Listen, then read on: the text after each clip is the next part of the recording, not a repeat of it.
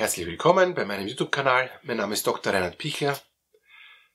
Wie werde ich beziehungsfähig, auch wenn ich viele traumatische Erfahrungen in meiner Kindheit und Jugend gemacht habe? Also Entwicklungstraumata und Beziehungsfähigkeit, geht das zusammen? Gibt es da Möglichkeiten? Wie gelingt mein Leben, auch wenn ich über Ersatzbeziehungen dann nachher hinkomme zu einer guten, gelungenen Beziehung?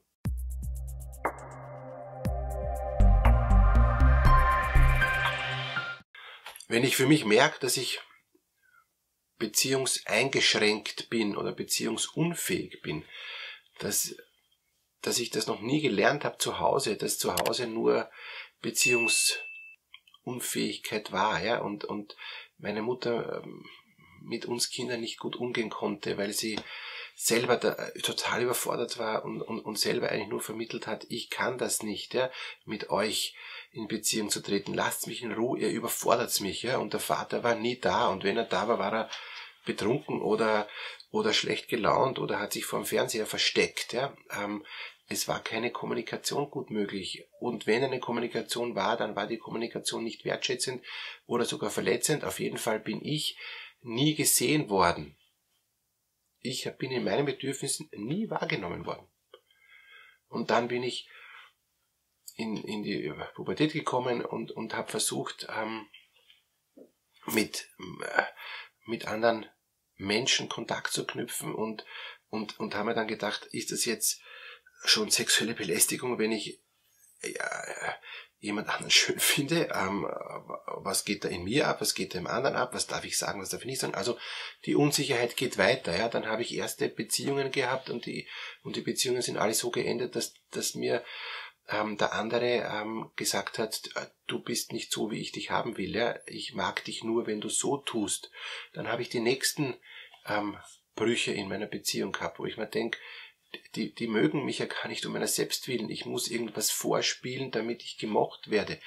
Also nächste Sache, die schiefgegangen ist, ja, also ganz früh, wo ich mich eigentlich noch unsicher ähm, äh, verhalten habe, aber, aber offen war, mich auf den anderen einzulassen, habe ich zack dann eben gemerkt, na, ich kann mich auf den anderen gar nicht einlassen. Ja. Dann war ich reifer, habe mich dann strukturiert auf, auf andere ähm, Menschen, Freunde ähm, oder dann auch Partner versucht einzulassen, habe immer wieder gemerkt, die Tür ist zu, ja, ich, ich kann mich gar nicht mehr öffnen, weil ich schon so viel abgekriegt habe. Ich kann mich gar nicht mehr öffnen, weil ich gar nicht sicher bin, ob das überhaupt gut ankommt. Es kommt auch zu wenig zurück. So nach dem Motto, in, sagt man auf Österreichisch, nett geschimpft ist nur gelobt, ja, also nicht negative Äußerungen getätigt ist ähm, ausreichend Lob.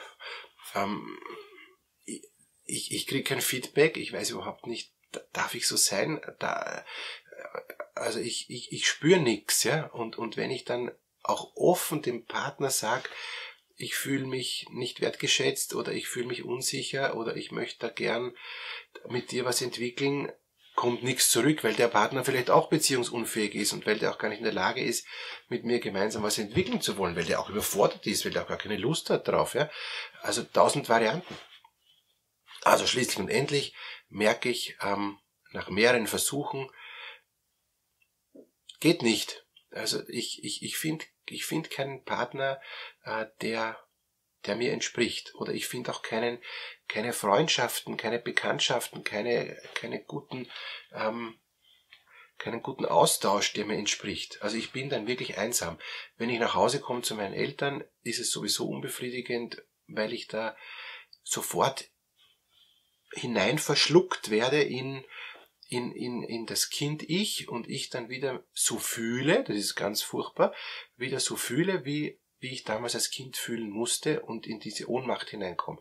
Und ich merke dann, wenn ich wieder gehen darf von zu Hause, also gehen darf, wenn ich wieder es, also mich verabschiede und wieder draußen bin, ja, merke ich, uff, jetzt langsam taue ich wieder auf und wäre wieder irgendwie wieder Mensch. Weil vorher war ich wie, ähm, zurückgesaugt in, in, in, in ein unselbstständiges, ohnmächtiges Etwas, äh, das, das selber gar nicht leben konnte, sondern das nur dauernd geschaut hat, wie tun die Eltern und wie muss ich leben. Was ich hier beschreibe, ist eine, eine mehrschichtige, und das ist dann schon eine schwere, weil es so oft äh, so viele Dinge schiefgegangen sind, eine, eine mehrschichtige Ent Entwicklungstraumatisierung. Ähm, und dann kann diese Person durchaus eine, eine komplexe posttraumatische Belastungsstörung haben. Und ja, diese Person ist dann tatsächlich nicht beziehungsfähig aufgrund von den vielen Entwicklungstraumata, die sie erlebt hat. Ein Angebot, das ich Ihnen machen kann, ich habe so einen Videokurs über ähm, die Entwicklungsstufen im Menschen äh, gemacht, damit eine, Ent eine Entwicklungsphase gut gelingt. Zum Beispiel in der ersten Phase ähm, Urvertrauen oder eben Misstrauen. Und dann gibt's die nächste Phase Autonomie, Minderwertigkeit und so weiter. Ja, ähm, sind die Lebensphasen nach Erikson.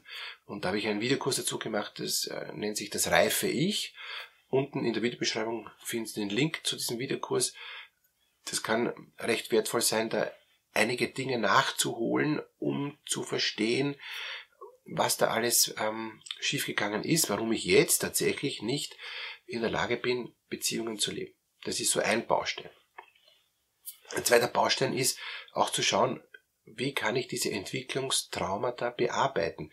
Dazu brauche ich eine Traumapsychotherapie, die ganz gezielt eingeht und mit mir sensibel hinschaut auf diese frühen ähm, Dinge, die massiv schiefgegangen sind, ohne mein Zutun. Ich war ohnmächtig, ich war ein Kind, was soll ich tun? Ja? Ich war ein Jugendlicher, ich, ich, ich, ich habe noch nicht die Reife gehabt, ja. Aber es ist so viel so schiefgegangen, dass ich jetzt als Erwachsener nicht in der Lage bin, da einen, einen Weg zu finden, der, der das aushält, diese Frustrationen oder, oder der längerfristig etwas durchhalten kann, ja. Oder der, der in der Lage ist, auch zu, sich zu distanzieren von, von emotionalen, intensiven Dingen, die mich, die mich belasten.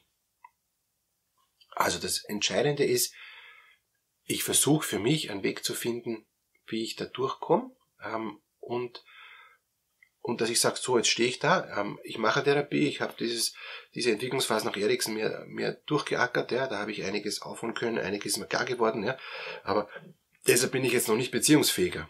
Ähm, und ich habe trotz allem auch jetzt noch immer nicht nicht äh, das Vertrauen zu Menschen, auch weil es dann zu wenig gibt. Ich bin jetzt schon über 30 und und ich habe nicht ähm, da gibt's auch nicht so viele mehr, die mit die überhaupt Beziehung leben wollen. Ja? Ähm, also ich bin auch jetzt deshalb schon einsam mehr, weil weil es gar nicht mehr so viel Angebot gibt am Markt wie mit 20. Ist auch ein, ein total ernstes Thema, ja. Und, und über Partnerschaftsbörsen, ähm, vor allem wenn ich in die falschen komme, ist es ja noch mehr zurückschreckend und abstoßend, ja, wo ich mir denke, ja, das, das ist ja ganz furchtbar. Also da habe ich, da habe ich genau das Gegenteil von dem, was ich eigentlich erhoffe. Was tun? Eine Variante ist, ganz langsam beziehungsfähig zu werden und ganz bescheiden ähm, zu starten mit, ähm, mit, mit, mit, mit Wegen, wie ich Beziehungsfähigkeit erlangen kann und, und wo ich einen Weg finde, wo ich sage, ja, das, das tut mir gut. Und ein guter Weg ist, ähm, zu schauen, bin ich ein Hundetyp oder ein Katzentyp und mir dann entweder, wenn ich ein Hundetyp bin, mir einen Hund anzuschaffen oder wenn ich ein Katzentyp bin, eine Katze. Die sind tatsächlich unterschiedlich, diese Typen. Ähm, der Hundetyp ist, ist derjenige, der sagt, ich möchte auch was weitergeben, ja. Ähm, ich, mir ist auch wichtig, dass ich was vermitteln kann, ja. Ich möchte auch gesehen werden, ich möchte auch wahrgenommen werden. Und da ist der Hund total der Richtige, weil der hört auf mich, ja. Den kann ich so gut erziehen, dass er total auf, auf kleine Kleinigkeiten dann schon reagiert.